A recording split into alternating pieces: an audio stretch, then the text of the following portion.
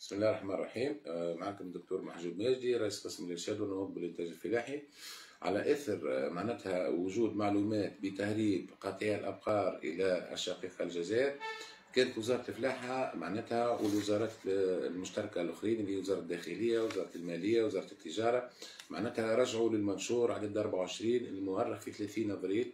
2018 الخدمة هذه ماهيش جديدة على على تونس ماهيش جديدة في في الشريط الحدودي. الخدمة هذه خدمناها 2018 2019 وتتاكلها وما نقولوش آه، معناتها حبس التهريب لكن حدت بقيمة كبيرة من التهريب وهكاك حافظنا على القطيع نتاعنا.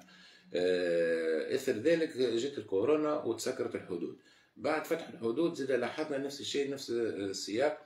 فما ورود معلومات بتهريب قطيع الأبقار إلى شقيقه الجزائر وقعت اجتماعات على المركزيات آه، في وزارة الفلاحة والوزارات الأخرى آه، تم تكوين لجنة وطنية لمتابعة هذا الموضوع. كذلك آه، تمت متابعتها باجتماعات في لجان جهويه برئاسة السيد الوالي وهكاك قررنا بالعمل بالمنشور عدد 24 المؤرخ في 30 أبريل 2018 هي راهي الحكاية راهي بسيطة شوية صحيح أخواننا الفلاح يتقلقوا لكن راهو للمحافظة على الثروة الحيوانية للبلاد كما لاحظتوا معناتها عدم وجود الحليب بصفة كافية. آه، نقص الإنتاج donc هذايا هو السبب نتاعو هو تهريب قاطعنا من الأبقار. فما آه، استنزاف آه، نقص على حديثك بالعسل معناتها سي محجوب إنه فما استنزاف للثروات الحيوانية. لأن في تونس معناتها ماشيه ماشيه اعداد كبيره برشا وقع تهريب اعداد كبيره برشا في معناتها في الفترة الفاتة اللي surtout اللي اللي اللي تابعت آه، فتح الحدود بين بين تونس والشقيقه الجزائر. donc استأنف نشاط تهريب الأبقار. وهذا لاحظناه خاصة في آه، نقص معناتها مادة الحليب المجمعة ولا المصنعة وإلا مادة الحليب حتى في السوق. ونحن كإجراء احترازي وخاصة اللي مقابلنا شتاء ونسموه معناتها basse lactation معناتها بطبيعته البقر ينقص في إنتاجيته في الحليب حتى كي يبدا العدد يبدأ مستقر ينتج ينقص إنتاج الحليب. وهكاك معناتها استبقنا آه، باش على الأقل نحدوا مظاهر هذه خاطر راهو البقر نتاع تونس راهو مكلف حبينا ولا كرهنا؟ حتى اللي والد في تونس راه مكلف بالعملة الصعبة خاطر يوقع استيراد معناتها الأراخي وكذلك حتى العلفه نتاعها معناتها بنسبه 60 70% هي هي معناتها موردة معناتها في الأخر ثم استنزاف للقطيع نتاعنا directement indirectement معناتها استنزاف للعملة الصعبة نتاعنا وللمحافظة على القطيع هذايا طبقنا المنشور عدد 24 واللي هو يفرض على ناقلي الأبقار أنه ينقلوا البقر آه، المرقم ومعروف المصدر نتاعو ومندوبية الفلاحة هي اللي تكون معناتها تقدم الخدمات لنقل الأبقار آه، بوصل مسلك وهكاك نكونوا على الأقل نعرفوا الحركية نتاع البقر نتاعنا سواء في وسط الولاية سواء في وسط آه، تراب الجمهورية. بالوصل المسلك هذايا على الأقل نعرفوا البقرة منين خرجت وين مشت بالضبط. وهكاك توقع متابعتها. آه، العمل بالمنشور هذا يبدا الأربعاء اللي قبل اللي فات. وكانت النتيجة تقريبا آه، حجز 20 آه، رأس من العقار بين كبيرة وصغيرة. والحجز هذايا نقوموا بإيواءه في ضيعة ديوان الأراضي الدولية. وهكذا تكون ثم متابعة. كذلك هي هذايا إجراء ردعي لكن على الدولة التونسية وعلى وزارات صحة الاختصاص هو آه، دراسة أسباب هالظاهرة هذه. ومن من بين أسباب الظاهرة هذه هي غلاء المواد العلفية. وهكاك ما نقولوش الفلاح خسر ما يخسرش الفلاح لكن نسبة الربح نتاعو تقل ويلتجأ إلى تهريب الأبقار. دونك يلزم فما مراجعات لازمنا نقوموا بها خاصة السيطرة على آه، أسعار الأعلاف.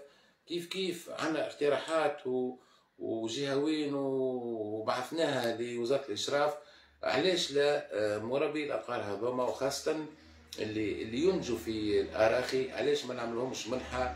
آه، كيما كيما نقولوا إحنا منحة البكرات اللي عملناها في النهوض بقطيع الإبل زاد كيف كيف؟ حتى تو مطالبين آه، باش نشوفوا الفكرة هذه ونطبقوها وعلى الأقل هكاك غير الإجراء الردعي نعاونوا الفلاح وهكاك يستحفظ على القطيع نتاعو.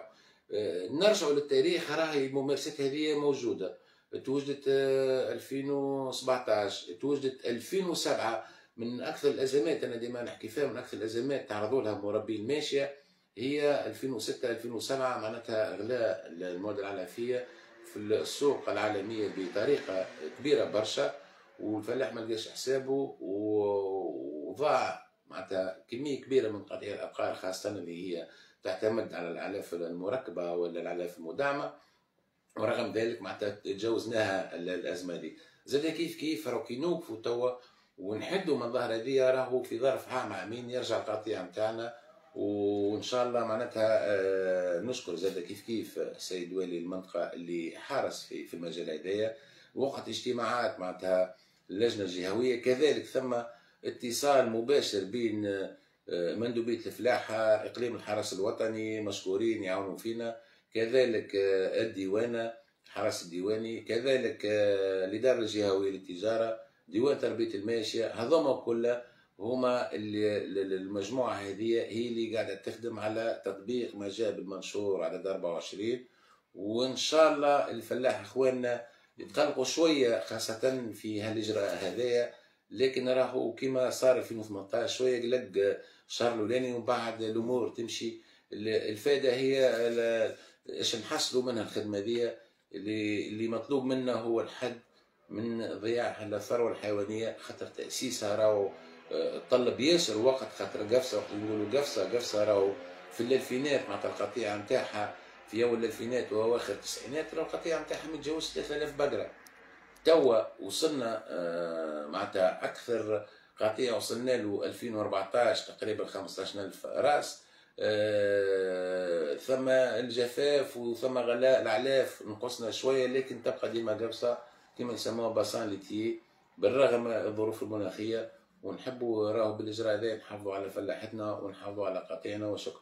شكرا يعطيك الصحة. حول موضوع تهريب عدد من رؤوس الأبقار كان معنا السي محجوب مجدي اللي هو رئيس قسم الإرشاد ونهوض الإنتاج الفلاحي بالمندوبية الجهوية في تصريح لي كرامة فام شكرا يعطيك الصحة.